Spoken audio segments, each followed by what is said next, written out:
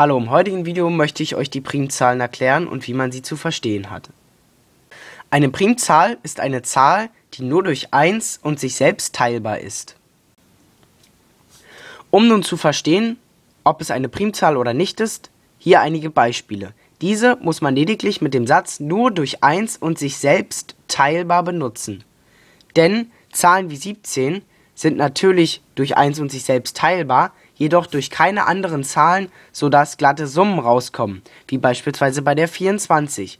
Rechne ich die 24 durch 2, so komme ich auf 12. Rechne ich sie durch 12, so komme ich auf 2, also auf glatte Zahlen ohne Nachkommastellen. Die 17 jedoch ist durch 1 und sich selbst teilbar, jedoch durch keine andere Zahl, sodass eine glatte rauskommt. Genauso ist es bei der 3. Sie ist durch 1 und sich selbst teilbar, jedoch durch keine weitere. Genau das gleiche verhält sich bei der 47.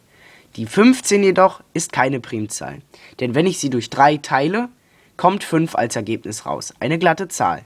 Deswegen ist es keine Primzahl.